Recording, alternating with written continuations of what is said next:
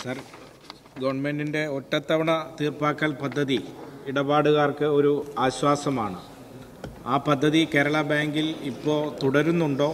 ഇത് സംബന്ധിച്ച് എന്തെങ്കിലും പരിഗണനയിലുണ്ടോ എന്ന് വിശദമാണ് മുപ്പത് ആറ് രണ്ടായിരത്തി ഇരുപത്തിനാല് വരെ അതുണ്ടായിരുന്നു സാർ തുടർന്ന് ഭാവിയിൽ മുന്നോട്ട് ആലോചിക്കും